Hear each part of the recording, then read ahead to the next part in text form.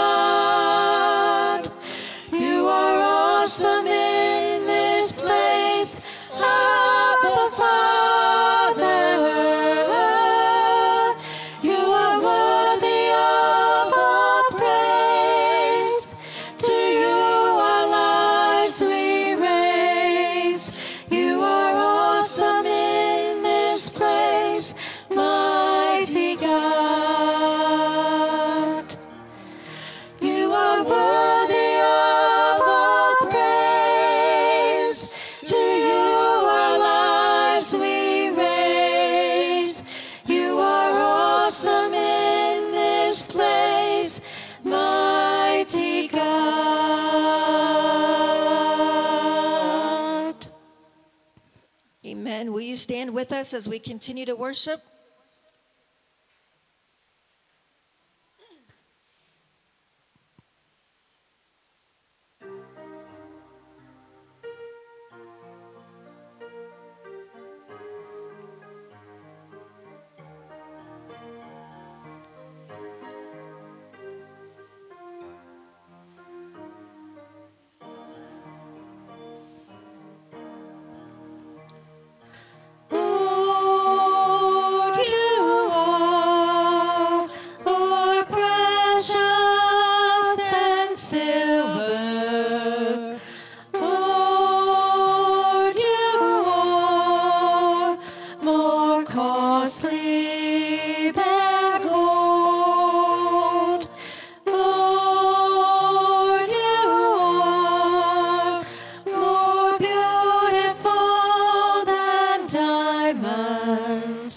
another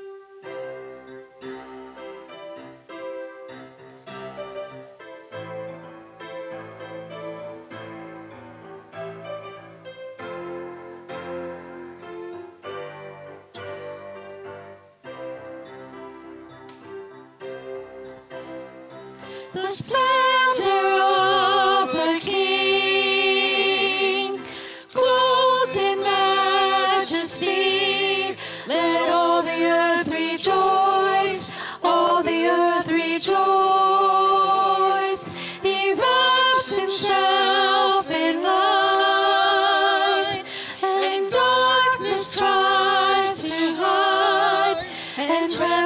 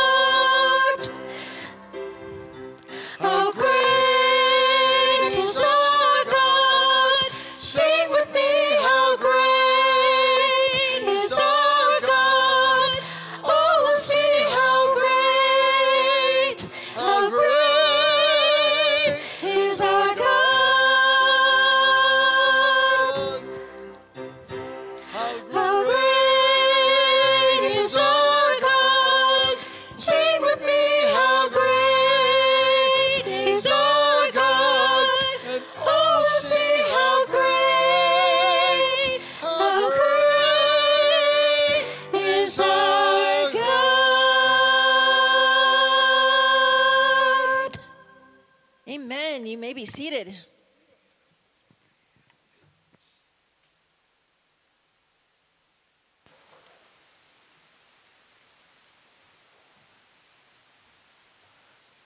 As the ushers are passing amongst you, I'm going to introduce Pastor Jerry Witt from the Hope Alliance Church in Hudson, and uh, he's going to bring what the Lord has laid on his heart hopefully the Holy Spirit is opening our hearts to hear it. So carry on.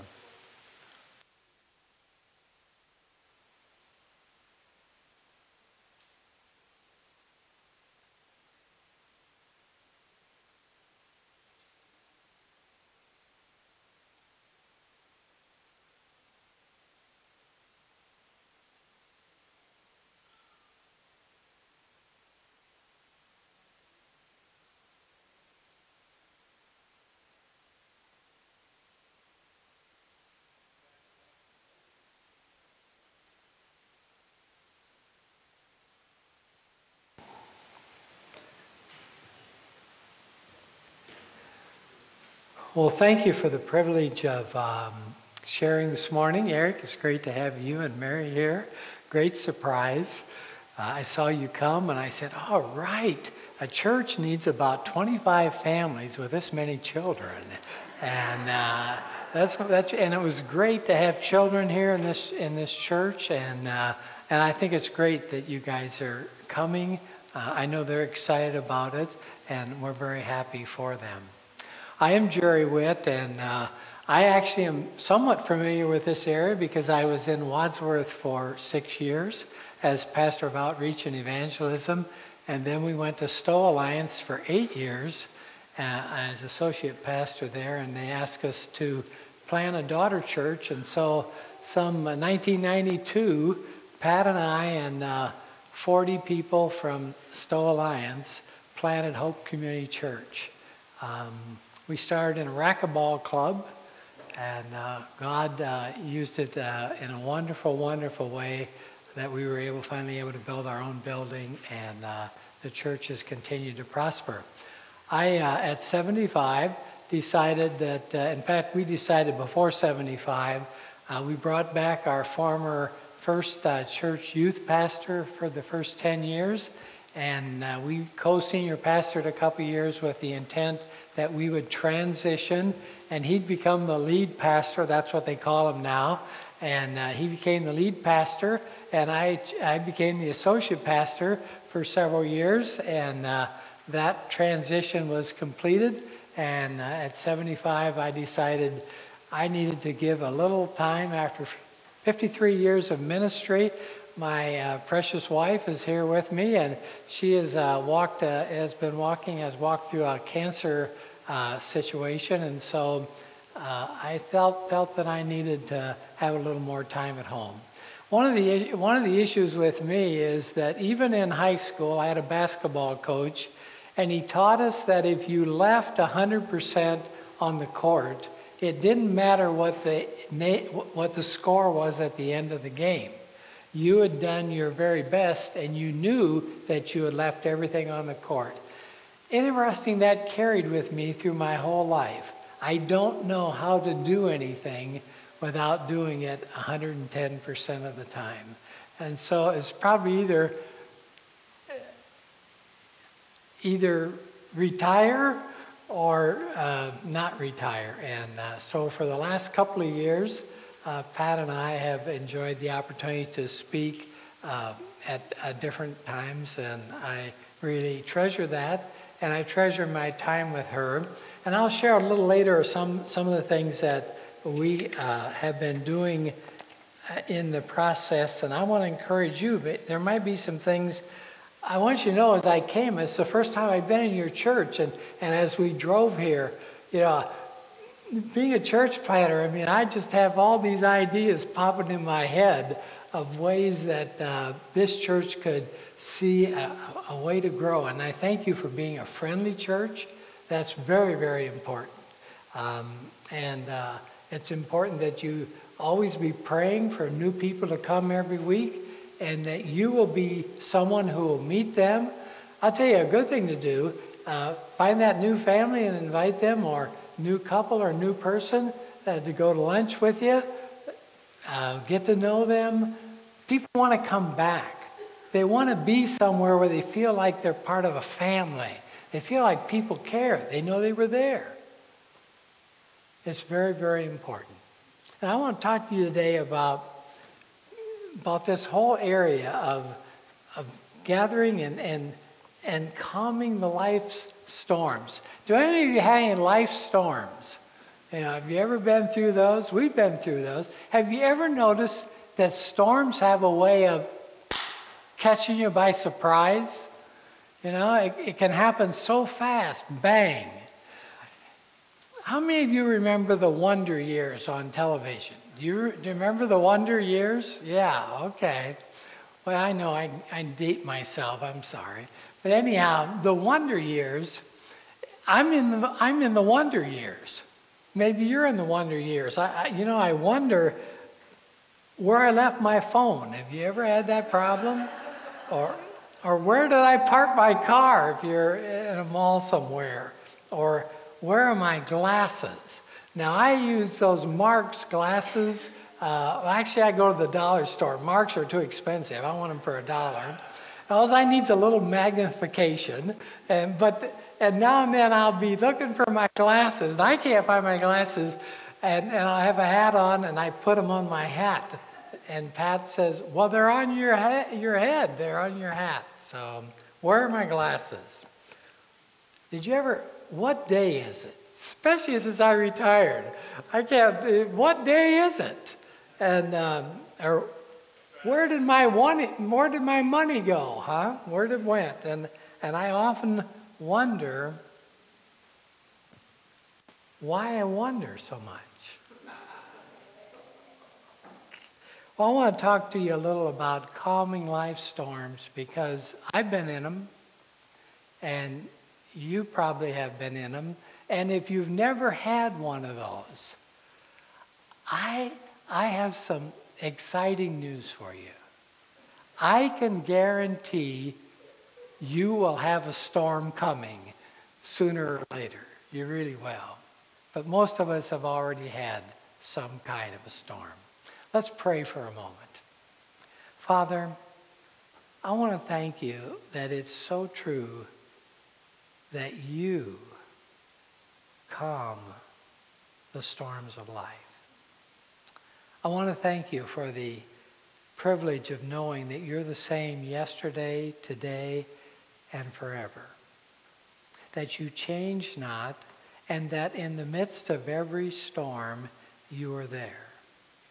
The psalmist says that when you walk through the rivers, the waters, that you are there. When you travel through the fire, you are there. And Lord, I just really thank you that you're so worthy to be followed. Father, I pray today that we would see Jesus in the midst of all of this and realize that he is our Savior, he's our Lord, he's our King. Help us to just spend these moments centering in on trusting you. In Jesus' name, amen. I want to walk my way if I can. In fact, I've, had, I've been asked this question over 50 plus years of ministry many times. Why is this happening to me?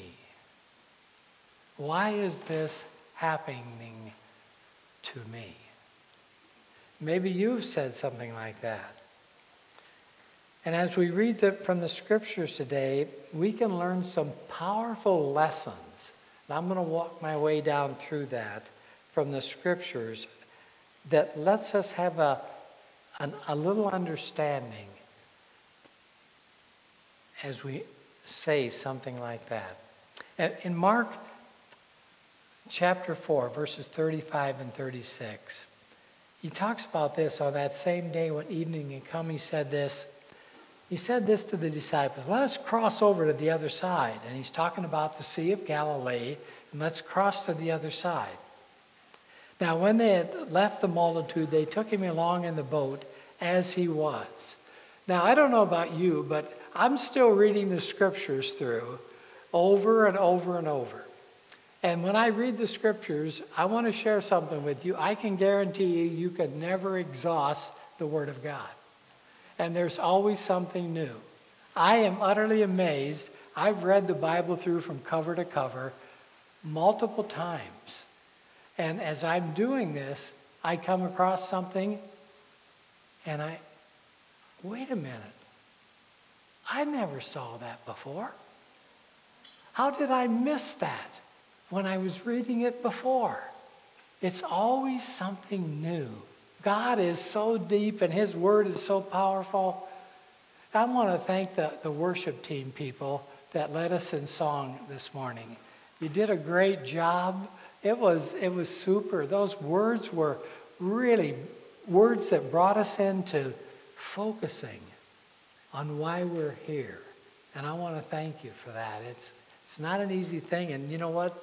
They practice and they spend time in preparation, and I want to thank them for that. So, there are four miracles that we find in chapter 4 and chapter 5 that happen within probably a 24 hour period, two days at the most, uh, one day and then the next day. And it's an amazing thing as you look at that. In verses 35 uh, through 34, there, there's, there's these four miracles, and the first one is a miracle of the power over the, over the elements of nature and the wind and the sea. Yeah, so true, so true. And then the next one is in Mark 5, 1 through 17. It's, it's the second miracle, and it demonstrates power over the demons and the demonic forces. And if you see, you, those are the fill ins that you can use in your outline. And then in Mark 25 through 34, in the midst of him heading for the fourth miracle, he's interrupted. And he's interrupted by the woman who's had this flow of blood for 12 years. And, and, and she'd been to all kinds of physicians and, and, and, and experienced all kinds of horrible pain, and nothing had ever worked, but she knew. She just thought, if I could just touch the hem of his garment. And you notice in the, ver- in the fourth one, he's on his way to Jairus' home. Jairus said, My daughter's dying. My young daughter's dying. Can you come? And they're on their way. And she touches the hem of his garment and she's healed. And then that fourth miracle is in the Mark chapter 5, verses 21 through 24, and that's where he's starting to go there. And then in verses 35 through 43, he raises Jairus' daughter. So you have the first one, the power over the elements of nature, wind, and sea. The second one, power over the demons and demonic forces. The, uh, and the third one, power over disease. And the fourth one, power over death. These miracles demonstrate that Jesus Christ, the Son of God, has power and authority over nature and demons, disease, and death. So all day, Jesus had been teaching in this large crowd. And, and it's interesting, that word was. They took Jesus, and, and it always, it always, that word always struck me. And I hope that you're reading the scriptures in different translations. It helps you to understand certain things. The translation that I'm reading the Bible through this year is the Amplified Bible.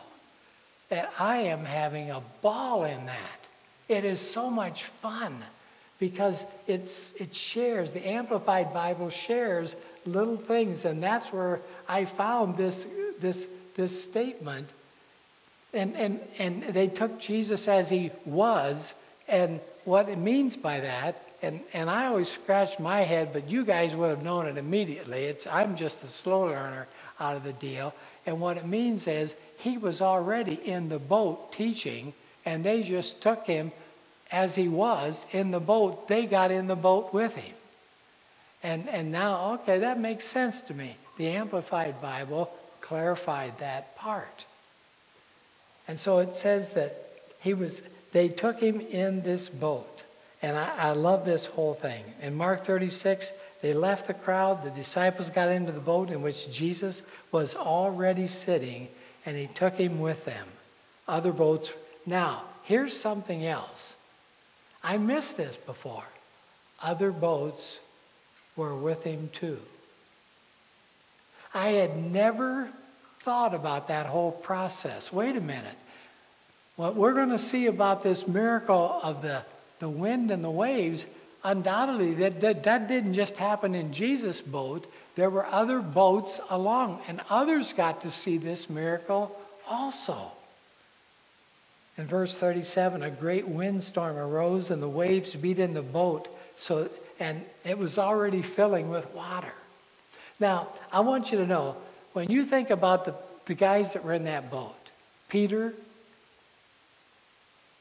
Andrew, James, and his brother John, those four were professional fishermen. They did this all the time for a living. They, they've seen, they have been doing this for years. They've seen all these storms. And it says they were terrified. This thing was so big. It, those it was it was more like a hurricane. Those waves were coming, and and and over in Israel, you'll find that uh, around the Sea of Galilee, there's these these hills and little mountains like, and and then there's these valleys, and in these valleys, the wind would come through these valleys and drive that like a force. And it says they had this terror, they're bailing water. I mean, these are these guys are scared. Now these are professional fishermen. They've seen it all, but they've never seen anything like this. They're bailing water for all they're worth. I can just see Peter. He's shouting, you know, he's already telling people what to do. And he's, he's shouting and carrying on, bail, you guys faster, we got to get rid of this water. We're sinking. This, this thing's beyond me. I tell you what, I only get seasick when they stop the boat. So I can't go fishing. Uh, that's when I get seasick. As long as you keep that boat going. We got we got taken on a cruise once. Um, I had I was asked to officiate a wedding, and and you had to of course do it um, right away in American waters. You still had to be in American waters. So we got on the boat at 3 o'clock. At 4 o'clock, I had to do the wedding uh, before we got out of American waters. I stepped. Now, this is a cruise ship. This is a cruise ship. I mean, this thing is huge. I stepped on that boat. It's, it's docked. I stepped on the boat and I knew I was in trouble. I knew I was already in. It's not going anywhere. It's just sitting there. And I knew I was on the boat. By four o'clock, I already had my Dramamine on in order to be able to, to do that. And of course, we had to go on the cruise. It took me almost three months to get my eyes back to normal after having worn that patch all the time. that's a, you know what, that really was, I'll give you that for free. I won't even charge you that. Anyhow, they're bailing water for all they're worth. And it says that Jesus was in the stern, sleep on, uh, it says leather, uh, a leather pillow like. Now, wait a minute, this is a boat. Yeah, but it's a fishing boat. They were used to see they'd go out and they, they'd fish all night. And so they'd cast out the nets. Well, then there's nothing to do. And they could go back and, and they laid in the stern and there was a pillow there and take a nap if you wanted to take a nap, whatever you wanted to do. And Jesus was in the stern sleeping, sleeping. And so, of course, they wake him up and say to him, Teacher, do you not care that we're perishing? You know, in this whole thing, we see Jesus in his humanity. Hopefully, this thing will stay on here with me. Let's see what's going on. Okay. It says, and we see Jesus in his humanity, tired and exhausted. You know, here's Christ. And, and this is something that you probably understand, but I never fully understand. But I believe it because the scriptures teach it. He's fully man and who? Fully God. Fully man and fully God. And so we see him in this. And this profound impact, miracle would have really profound impact on the disciples. So here he is sleeping. He was accused by the, the sleeping Savior is accused by the fearful sailors. There's no doubt about it. Look at verse 39. This was no ordinary storm. It was a tremendous storm. And in Mark 4:39, Jesus arose and rebuked the wind and said to the sea, "Peace, be still." Hush. Stop. And the wind ceased, and there was a great calm. How many of you are fishermen? Any fishermen in this group? Well, we aren't going to have fish for lunch, Pat, I'll tell you that. Only one fisher. All right. Did you catch anything? Oh, we're in trouble. We're in trouble. All right. See, normally, if you're out on a boat, normally, if the wind stops, what happens with the waves? They still go on a little bit, don't they? They're, they're, they're, and, they, and they're getting less and less. Not when Jesus does it. Not when Jesus does it. No. Stops just like that. Now, I never, I, I, I can't preach a sermon on this. I've never heard a sermon on the other boats, but I would love to. Have you ever heard any of the other boat, a sermon on the other boats? No, because that's the only thing we know is there were other boats. That's all we know. That would be a short sermon. Eh, it's one thing that people pray for when they come to church, a short sermon, okay? Uh, I brought Pat along, you know why? Because she knows the signals.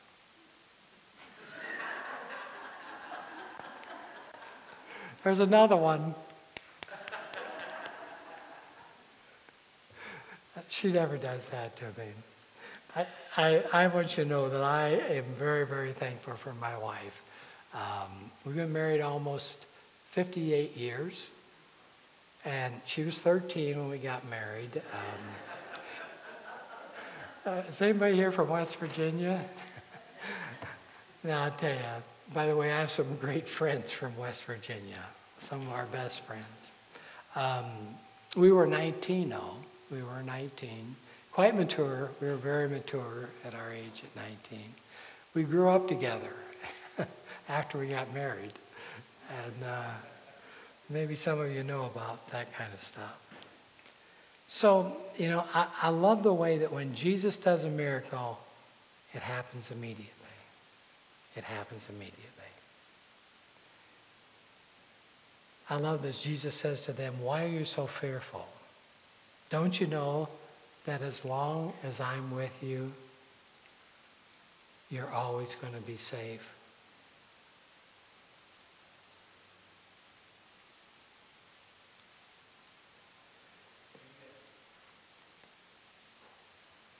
Now tell me why.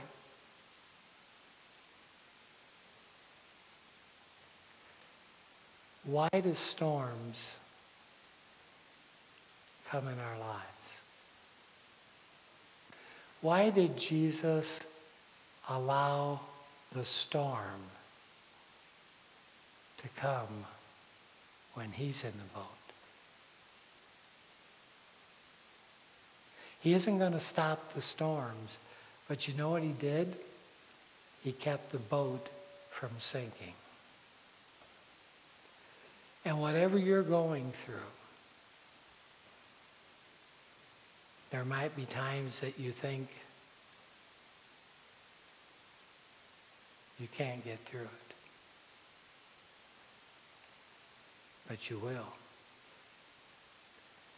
And you will because Jesus is your Savior and your Lord.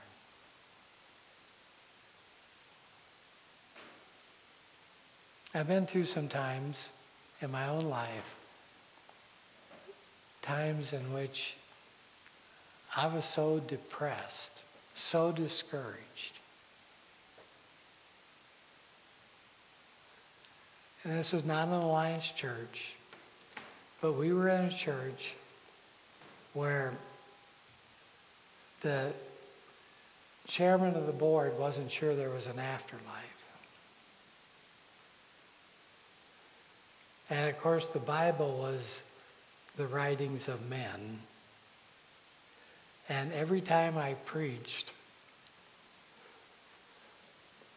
I got nailed to the wall after that because I preached as if this was the Word of God. And it was true. And I'm sure I wasn't the greatest preacher then. I was pretty young at that time.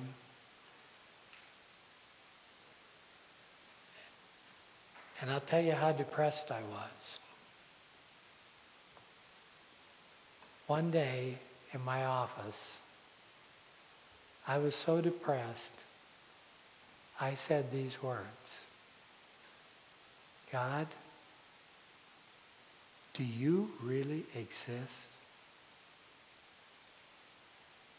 Now that's that's being depressed. God, do you really exist?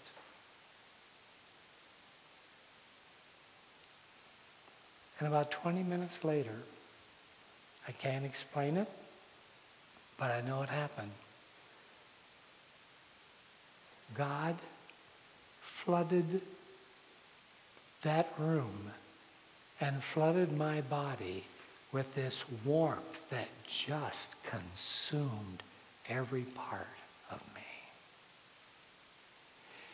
And it was like his spirit said to my spirit, Yes, I exist. And I'm enough to bring you through anything you ever have to experience.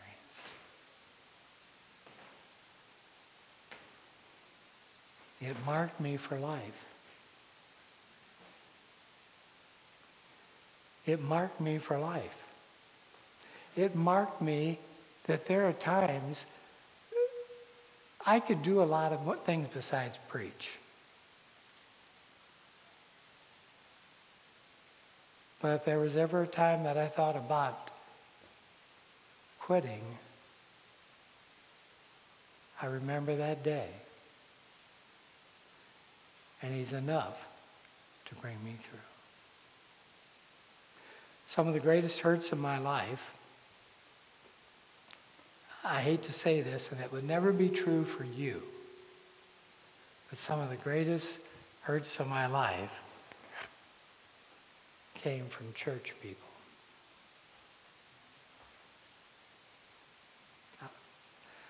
I'm sorry to have to say that. But I'm sure that you're not that kind of people. And I'm sure that Eric's going to have a great ministry here with you.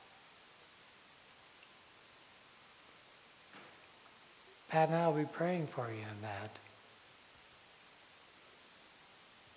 I do want you to know that. And He is enough. He's enough to bring us through no matter what. And He is for you too. He is for you too. He's a great God. How great, how great is our God? Oh, yeah. Oh, yeah.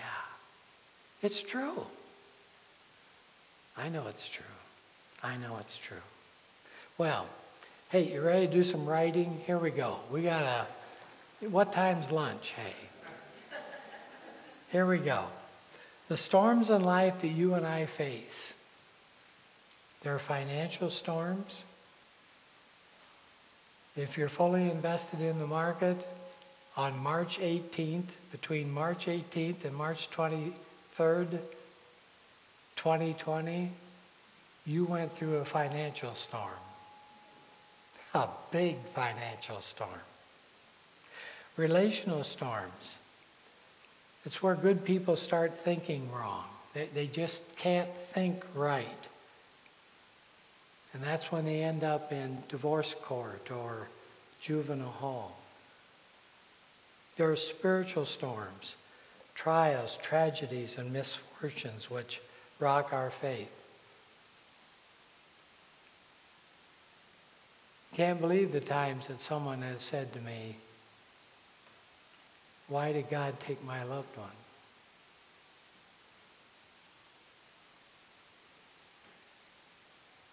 And I just want to share with you, I don't have all the answers, but I know one thing. I know one thing. I don't believe that God takes your loved ones. Now, there might be a time, I think there are three reasons for death, but I can tell you who you ought to be uh, mad at, and there are people who are, they're mad at God. And I say, now, wait a minute. You're mad at God? How about, how about Adam and Eve? How about Adam and Eve? They, they, they made the choice.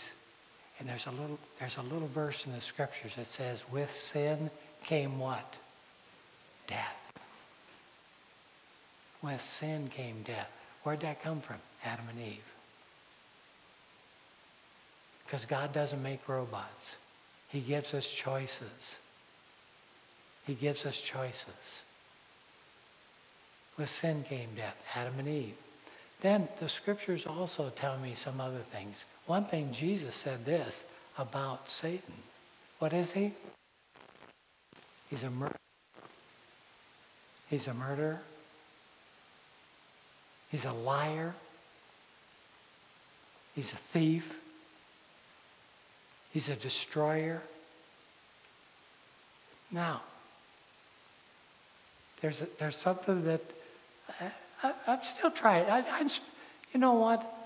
I'm supposed to know some answers. But I know what the scriptures teach me. Is it, did you ever ask yourself this question? When God said to Satan, What about my servant Job? Have you considered him? And you remember what Satan said, Oh, well, yeah. Oh, yeah, your servant Job. You blessed him. He's got all this money. He's got this great family. He's got all the, he, you know, take his money away. Take his health away. Take his family away and see if he doesn't curse you. What did God say to him?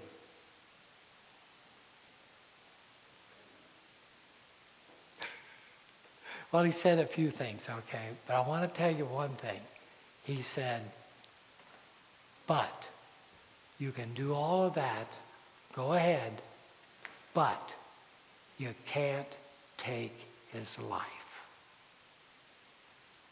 That says to me, Satan has the power to take your life. Unless God tells him he can't. Very, very interesting. He's a murderer. He's a murderer.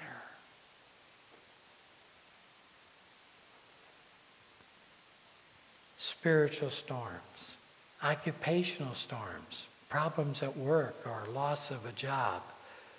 Your fourth fill in blank. The fifth one, physical storms, health and wellness.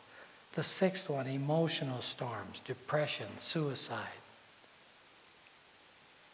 There are five things we learn from the Gospel of Mark. First, God's Word assures us of a safe landing. I love that. Then they came to the other side of the sea to the country of the Gadarenes. Safe landing. God's Word assures you and I. Do you know what? We have a safe landing.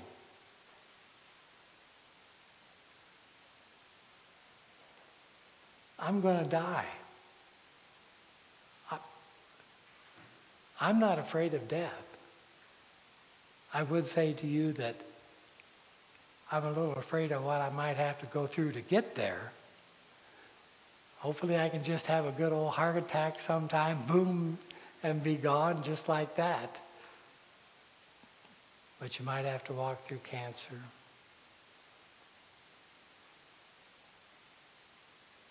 We might have to walk through dementia.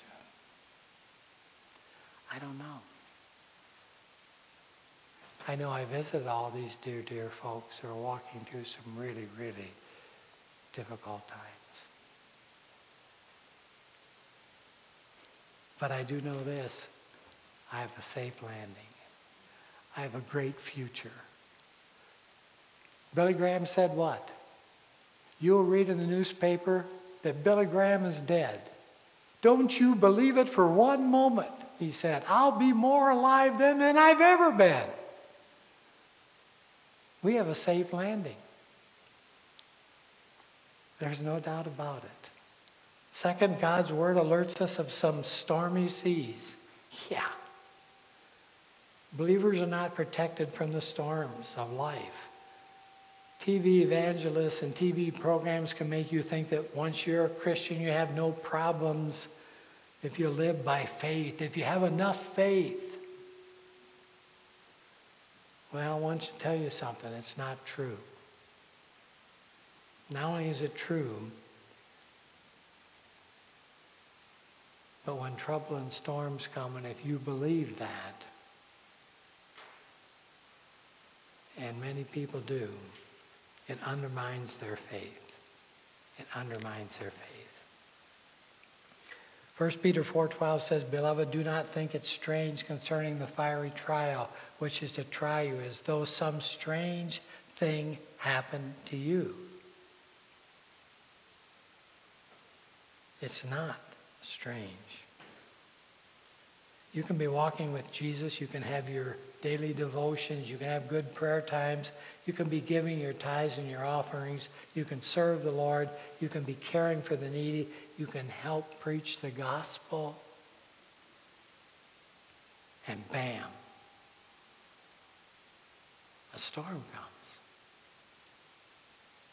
And it's okay.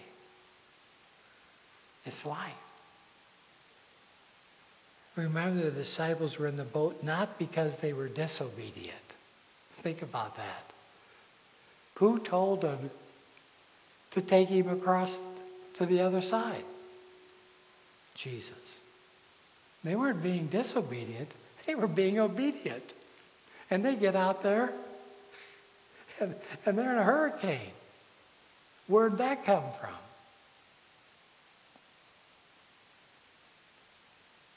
Stormy seas are a part of our journey until we have a safe landing in heaven with Jesus.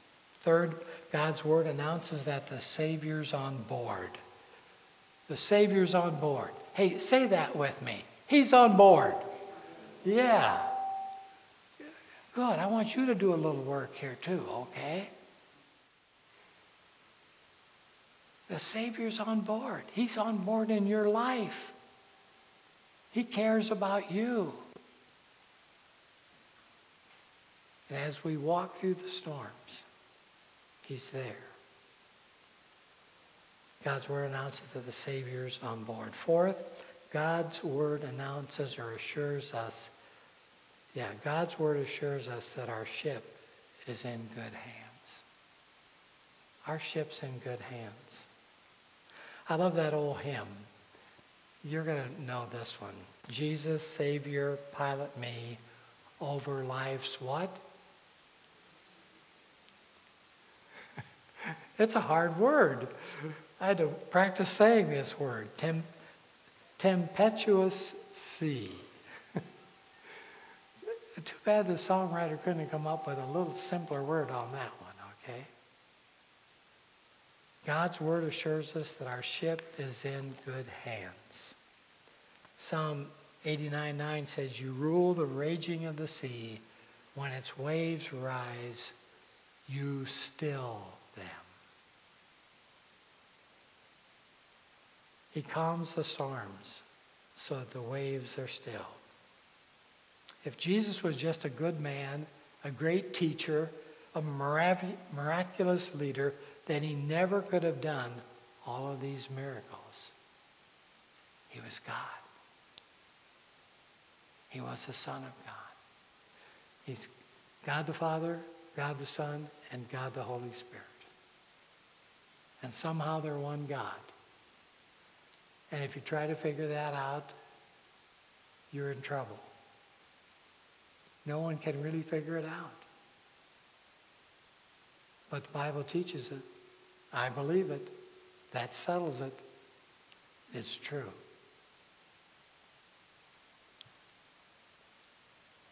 Safety is not the absence of trouble, but rather safety is the presence of Jesus. Never forget it. There's a thread that runs through all of these miracles for us to see. He's not just a good man. He is God. What did Jesus say? You've seen me, you've seen the Father. I and the Father are what? One. One. Fifth, God's Word gives us a glimpse of the master plan. God's Word gives us a glimpse of the master plan. Why would Jesus put them in the midst of this treacherous situation? Today we would call it in harm's way. Why is it that storms are allowed in our lives? Psalm 119 says this in verse 67. Before, be, before I was afflicted, I went astray, but now I keep your word. In verse 71, it says, It is good for me that I have been afflicted, that I may learn your statutes. The storms of life help us cling to Jesus closer and closer. I've been told over and over and over. It was in the midst of my storm that I drew closer and closer to Jesus. I felt his presence. I know he was there. He's there for you. And you know what? You might not feel it. But he's there. That is the truth. That is the truth. I'd like to ask you to take a moment and think about what's in the bottom of your outline. There are two questions. Think about it. It says, Are you operating in faith or in fear? Are you operating in faith or in fear? Hey, Jerry Witt. The Holy Spirit has to slap me up alongside the head every once in a while. Hey, Jerry, you got stinking thinking today.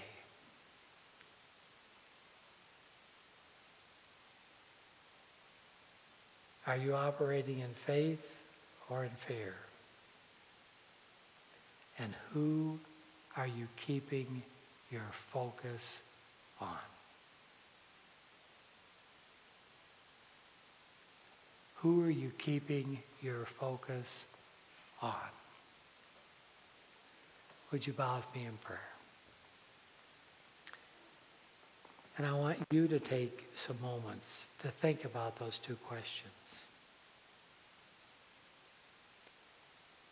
You talk to God. Is he your Savior? Is he your Lord?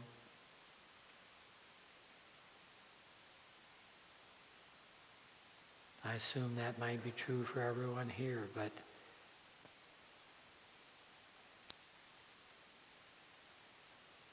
can you point to a time? Do you know for certain that today you're trusting Jesus? You've invited him to be in your life. You want him to be your Savior. You're sorry for your sins. I, I, I'm so sorry that my sin put Jesus on the cross. But I'm so thankful that he was willing to do that. For everyone who believes, for everyone who receives Christ Jesus as Savior and Lord, he gives to them the gift of eternal life. Maybe you're watching today on Facebook, you happen to be just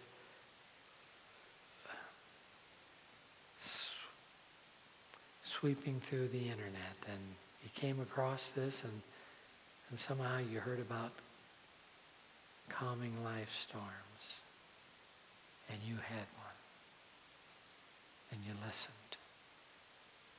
If you've never prayed and invited Christ to come into your life, he is the one you want in the midst of the storm. He is the one that is worthy to be followed. He is the one and the only one who can give you eternal life. Will you trust him today?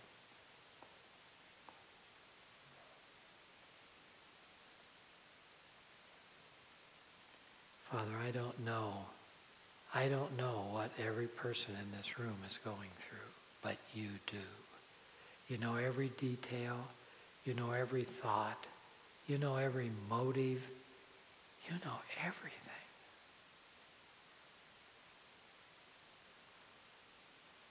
Touch our lives today.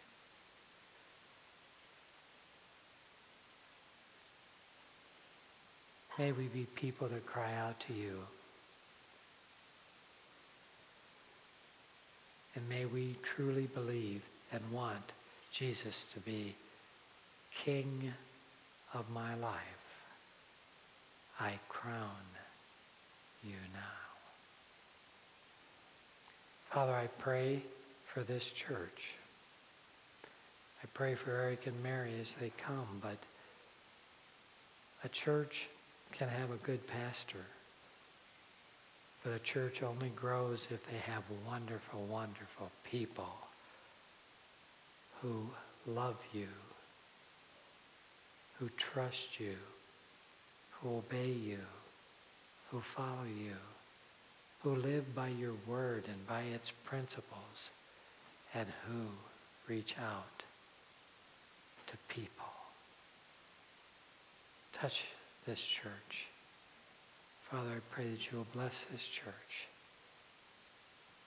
Touch its people by the power of God, by the word of God. I pray this in Jesus' name. Amen. Thank you for the opportunity to share with you today. Pat and I consider it a great privilege to do that. And uh, I just trust that um, God has spoken to your heart about ways in which, are, uh, who are you focusing on? And that you're focusing on Him. God bless you.